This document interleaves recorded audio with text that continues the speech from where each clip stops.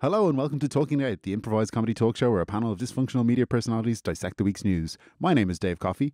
I'm joined in studio by former pop singer turned activist Trina McFarter, Let's chat. independent TD Shawnee Sutcliffe, You got it in one, Dave. Social media influencer Sarah O'Crilly, Hello. and shock newspaper journalist Brian Kilbird. Read 'em and weep. And we have a special guest joining us today. It's Carpet Chris from Chris's Carpets. How you getting on? It's me, Carpet Chris. Chris, uh, you, you're something of a viral internet star these days. Tell us about your latest funny video. To, to basically the launch of our new Persian polyester six-inch carpet, uh, we had Keith Barry wrap himself up in it and throw himself off Powerscourt. O- Of the uh, the waterfall there. No, the steps beside Grogan's.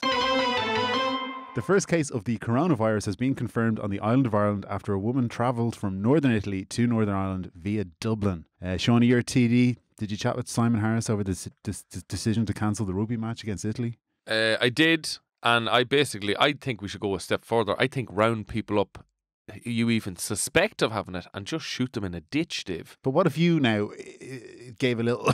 sometimes you do because you. Well, hang on a Dave. What was that now? Are you all right? No, no, I was. Oh, no, well, Dave, Dave, no, hang I'm on, you're fine. coughing there. I'm fine. Just I've cough got a there. gun No, in the boot of my car. I'll go get it. Sarah, you avoided the coronavirus once in China. Are you going to take any special measures to avoid it now? Should a case break out here in the Republic of Ireland? I've been on a few holidays, that's true. Um, so I, I don't really want to worry anyone, but I have also been to Italy recently. Oh God. Um, I honestly so- think you're trying to get this virus for the likes. Oh I yes. know. Good point. Well, I mean, to be zero, honest, to be honest, I did think about it, and I did, I did kind of consider it because it would be, it's new, it's novel, you know, there's not any influencer with it yet. Mm. But what I do think is that, like, I am young, fit, like, you know, I probably wouldn't die from it. No, so, yeah, like, you're not that young. actually, You're- yeah. You're maybe, that- you're in your maybe I 30s. do want to get it. A great t- way to, to combat these kind of diseases is actually getting rid of the carpets in your house. No, you see, I was Yeah. just going to say carpets, Yeah, sure, they're carpet riddled respiratory, and they're riddled with diseases. Yeah, no, not my are antibacterial acrylic is is absolutely 100% germ free, and No. it, it And then I if you have a don't- I don't- pet and they're like pissing and shitting and walking in it and then Wait a minute, I want to hear a little bit more about this quality Irish made carpet. That Thank you very is much talking now, about. Dave. Dave, Yeah. you're Cards so the corporate This has nothing to do with his sponsorship Well, of the show. You know, if it's nylon, acrylic, wool, or polyester, my selection of carpets are simply the best type of carpet. I thought that was going to be a rhyme. Chris, I know St. Pa- Patrick's Call Day. me carpet. Carpet, sorry. I know St. Patrick's Day is a big day for you at Chris's Carpets every year. Certainly is. What what what have you got How planned? the fuck is this relevant, Dave? It's, we're talking about St. Patrick's Day. I'm asking what he has planned for the store. You're asking Why? him, you're you don't asking ask us what we've planned for Patrick's Day. No, I'll I come to to you hear. next, Brian. Let okay? me let me Yeah. guess. He's got some deals on, some Well, carpet-based If deals. you'd let him Well, let me tell you. so uh, the fucking Shamrock Shag or something like that. that's, Sounds that's exactly what it is. It's a shamrock tweed shag. How did you? Well, you're very well. Yeah, you must know. Trina, you previously had your daughter Sheila in isolation, but now you've sent her away on holidays. Is that right? Skiing. Skiing. Build up her legs. Wait, she's not skiing. You didn't send her to Northern Italy, did you? Well, I, I didn't send her. I bought her a ticket. To Northern Italy. It's not like I put her in a in a in an envelope and put her in a post box Sure. and sent her to Italy. Very Dave. idea. Very. You'd want a big fat envelope for for You big fat. Sheila. I know. Yeah, And you sure, would. she'd suffocate and die. So Yeah, we know. Jesus. It's you a- couldn't do that just a really with a person in an imagery. envelope. no, no. You was can breathe never, through paper. there was never a, sugge- a suggestion that anyone would actually do No, that. No, I was just worried It that she might joke. attempt No, to no. you put take in. you take everything too far and then it's ruined.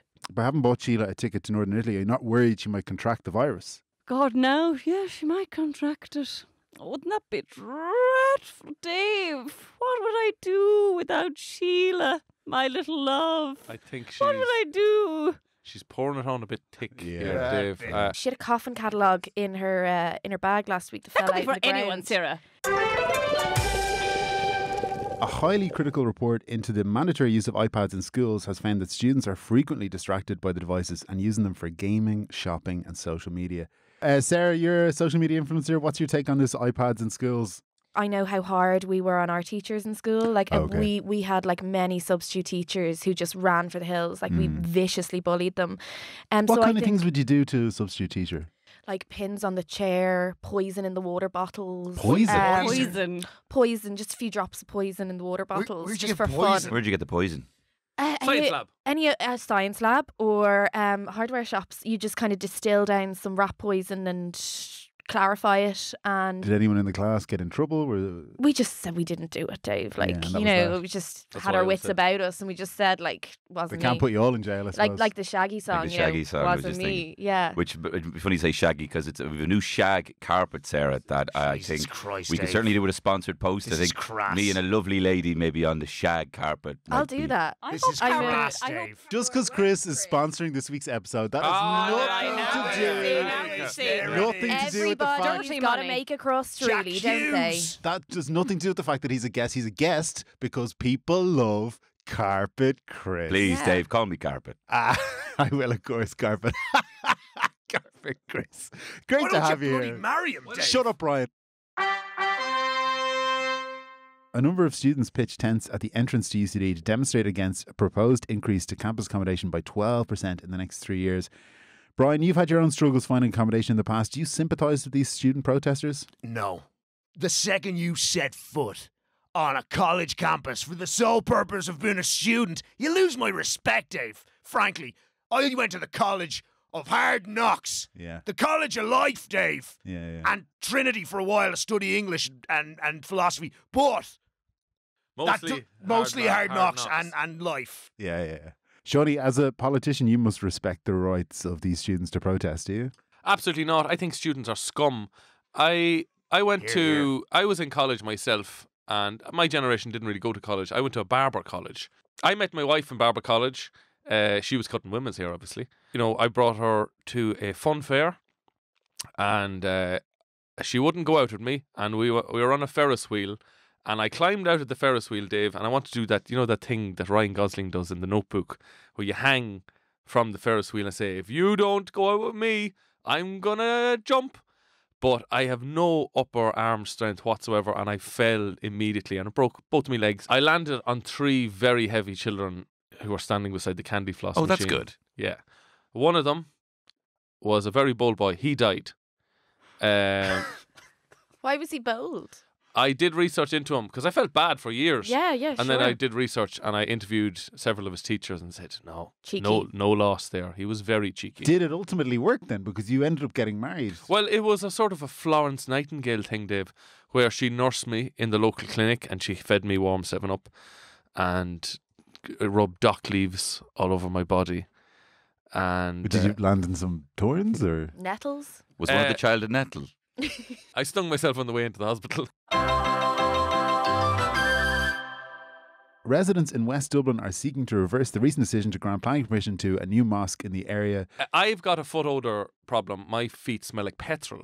I don't like going to places where I have to take off my shoes. I don't like bowling alleys. I don't like mosques. And I don't like my Auntie Maureen's house because she's got a nice carpet. Oh, wow. And oh, up again. What type is that? Is you that the kind gossamer? of spoon fed him that one, You Shawnee. did now. You Uh, that's why I'm against these masks because they have to make you take off your shoes. And plus, people are going to rob them shoes, Dave. People are going to rob them shoes. It's Lucan after all. it is looking.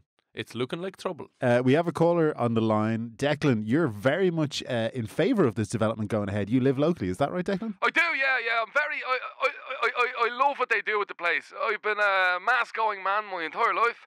Uh, mass is quite boring to me, but this mosque sounds very exciting. There's a child minding facilities, there's a little cafe, I think there's a cinema inside it, Uh, classrooms. classrooms, bowling alley. I heard somebody on the radio I say don't know there. if there's a bowling alley now. Something about shoes. Yeah, you have to take your shoes off, but not because there's bowling. Do they give you special Muslim shoes when you get in there, Dave? I don't think so. I think you go in and probably in your socks or So it doesn't barefoot. sound like a bowling alley at all. No, no, it's I'm ju- actually dead against it, Dave.